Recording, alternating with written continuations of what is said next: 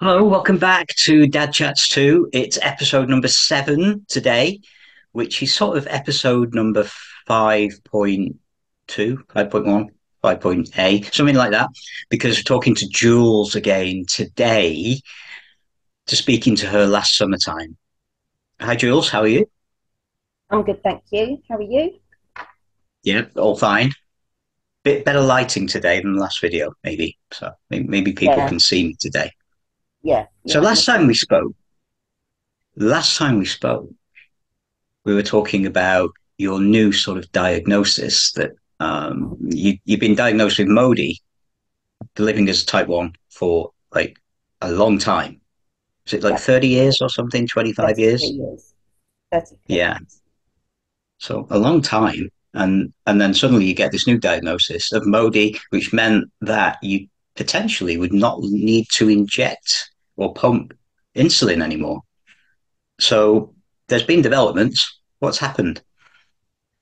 Well, um, so the last time I spoke to you, um, the my consultant had said that um, I could, I would come, like you say, I would come off insulin and I would just take this tablet um, that would make my pancreas work harder to produce more insulin. Um, but there was a chance that maybe I'd have to have a basal injection with it as well.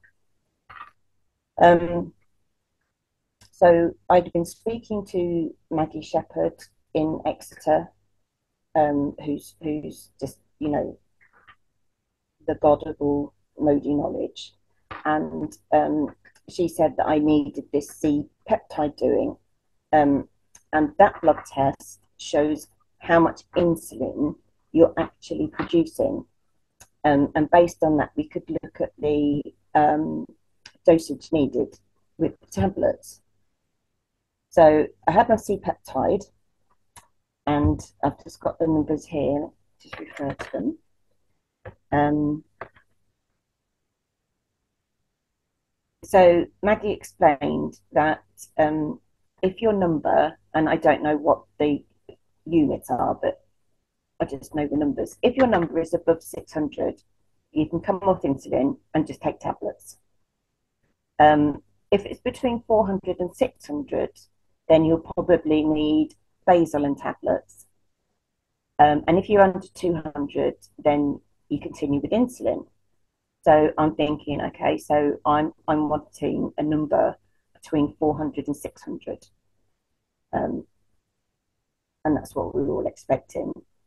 Um, it took something like two months to get the results of this one back. It, it was horrendous. I kept chasing and chasing, and nobody was getting back to me. And in the end, um, Maggie found it for me. Um, she was able to look it up, and my number had come back as 105. Um, so I am categorized as insulin deficient. So, um, which is the same as people with type 1. You are insulin deficient. So, um, yeah, all my hopes and dreams were just shattered Yeah, one I can imagine. I can imagine. So so that so that number just means you have the the the bare minimum of insulin going on, which is which is the same as a type one, and that's like, kind of nothing going on, isn't there? Yeah, So you had you had you had all this news which was delivered to you, and it, it seems like good news and almost unbelievable news that yeah, I know you questioned it a few times, and we had conversations about it as well. And then two months later, that it seems like that's not going to happen. And obviously, it's not going to happen now, and and you're back to where you were. So how how in that time that's this we're going back to the end of last year now, aren't we? When you when you found that out, sort of late summer, end of end of the year. yeah, So in so in that time, how how have you been feeling about it? Has, has it affected you? yes. Um, gutted, absolutely gutted. Um, so after Maggie gave me that news, um, I had an appointment with my consultant and I spoke to him about it, and he was uh, trying to persuade me to go uh, to try tablets and, and insulin, both basal and bolus, um, and do it with um, injections to go back onto injections. Um, or we could just leave it as it is. Um, so I went away and thought about that for quite a while. Um, I do take an awful lot of insulin a day, um, over 100 units a day. And I thought, well, if I had a tablet, then maybe I'd have less insulin. Um, that might be a good thing. I don't know. And then I went then into I went. a mentally downward spiral. Um, yeah, of just having my dreams shattered. My head, I I had I had to deal with them taking away my lifeline of insulin after 33 years. And I had to get in the right headspace for that. And then I had to deal with this promise is not going to happen anymore. Mm. Um, there was a, a line I always remember in Blackadder, for those of you who remember Blackadder, um, where um, Edmund Blackadder was saying to, to an old witch, Here's a bag of money, which I'm not going to give you. mm-hmm. That's exactly yeah. how it felt. Um, yeah. This, this, is a dream. This is the nearest you'll get to a cure. You're going to be off insulin. That, nah. So, yeah, um, a, a complete mind melt. Yeah, I'm trying. You, you can use whatever language you like because it's I, it's, it's been a, a, complete mind fuck. It really has. Yeah. Um, it's I can imagine it must it, it must have been it must have uh, just that example of Blackadder. It's exactly like that. Like, oh, this is going to change my life. Thank you. No, it's not. That's not happening. Yeah. Mm. And then you've um, it's not like diabetes was new to you either. You must have, you must have been so comf- not comfortable as such, but accepting by now that type one for you is permanent. You know. And I think maybe we all get to that stage. We hope for the cures, of course, but at some stage we I think we accept that this is not going away. And then that that that yeah. I, I can't imagine how difficult that must have been to to deal with that that sort of disappointment and, and disappointment doesn't feel like an adequate word no no. So I wonder whether they, whether they, the HCPs in this case, could learn um, based upon what's happened. So, what, how you were told, the information you were given, and the, the hope that you were given, to me at least, I don't think it should have happened in that way. Do you think it could have been done better? Yes. Um, my, I think my consultant didn't fully understand MODY. He said to me that he'd never had a patient who had been on insulin as long as me or who was on a pump that this happened to. So it was all, I guess, fairly new to him. Um, and if it wasn't for Maggie, um, I don't know if I'd even had that C peptide test. Um, so, yeah, I don't think I don't think he understood it enough and wasn't able to explain that to me. Um, Has there been a conversation subsequently about what's happened? Should they have done things in a certain way? And you could you could share your views with them, feed that back. No, no, no. that hasn't. Um, I don't know if if I would I don't know if I would maybe email them um, to explain how I was, it, it made me feel. I don't know.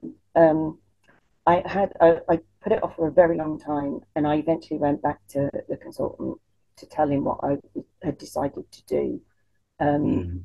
and um, I decided to stay as I was. Um, why reinvent the wheel? What I'm doing now is working. Um, to just continue with it. Um, yeah. What's the point of taking less insulin? I'm still taking insulin. Um, I would just add a, another tablet to the cocktail that I'm already on.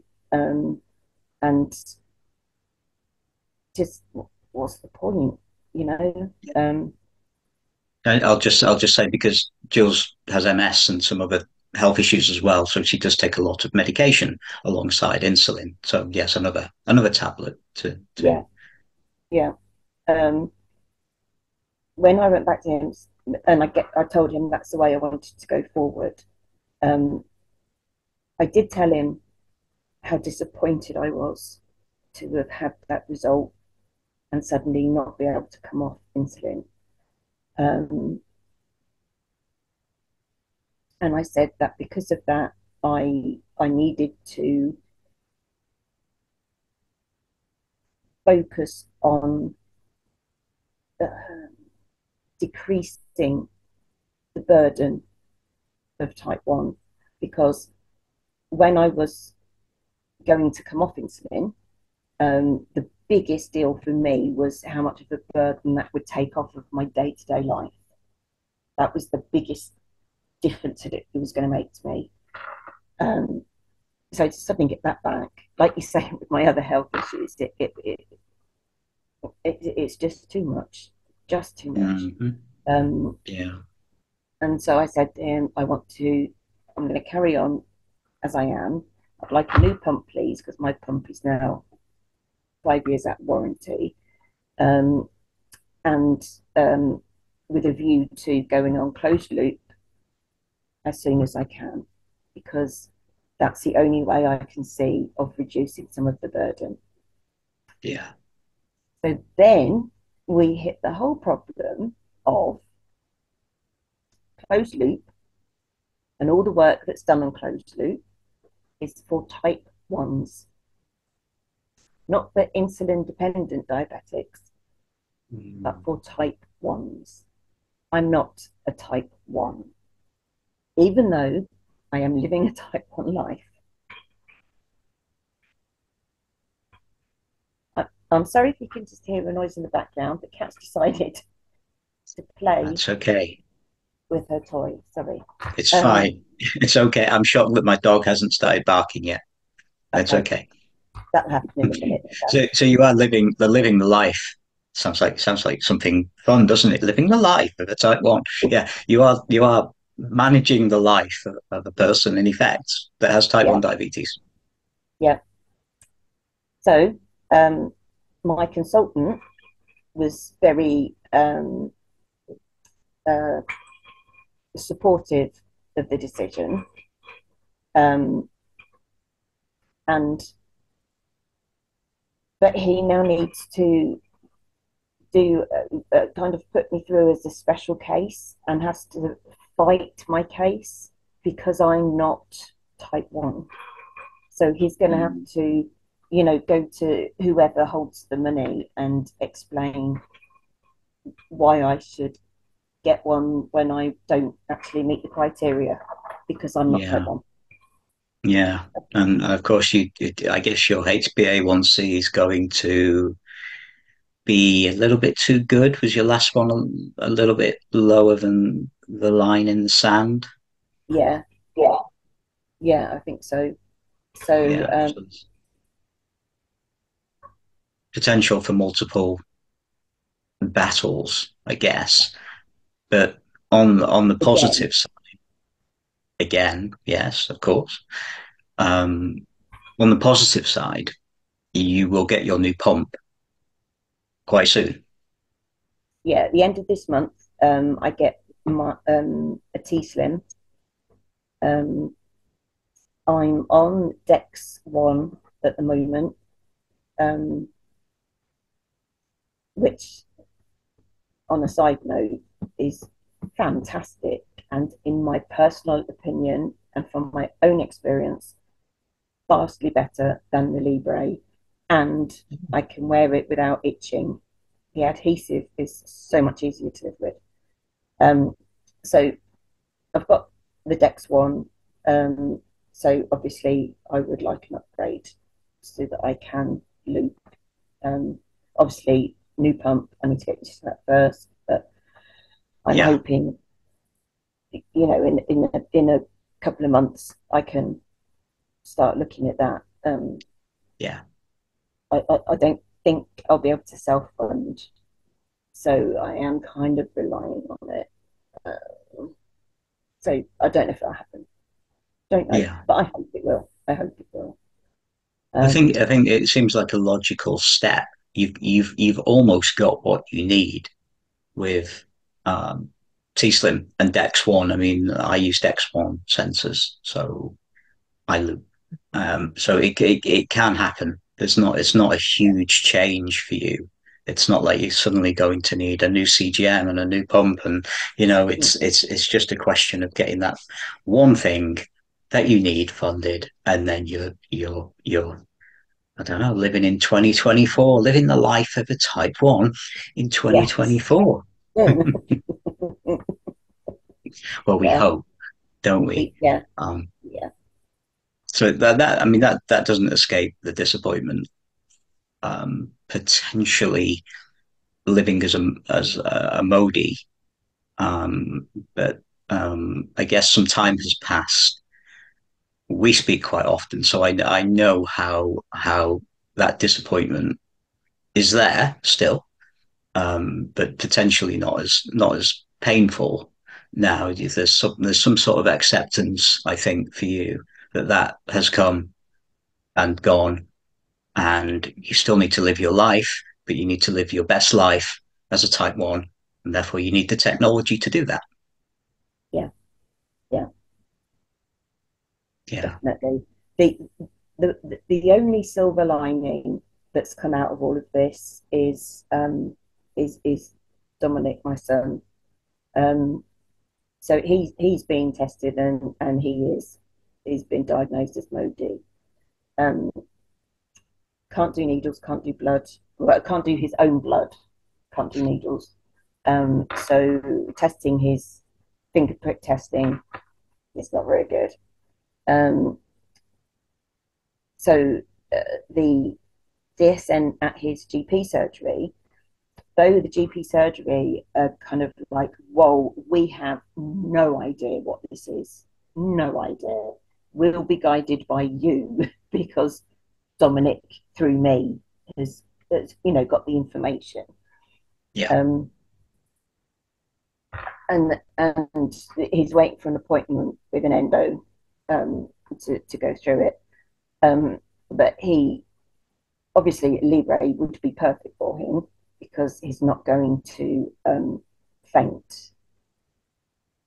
Um, so has he has he used CGMs so far? Has he has he yeah yeah, um, I've been able to get him a, a few because when he was first diagnosed, he uh, it, his head was in a mess, and um, he he works better with numbers and data.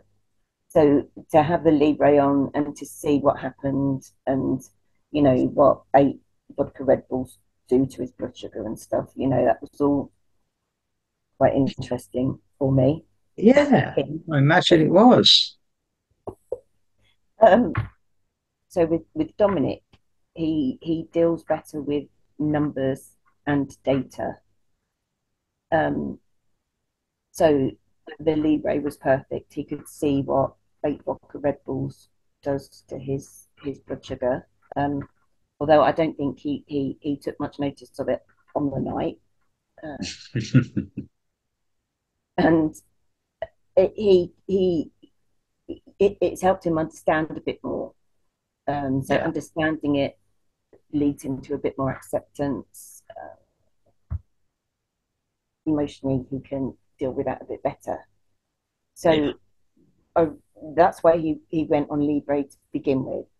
Um, then they started the uh, gliclazide tablets um,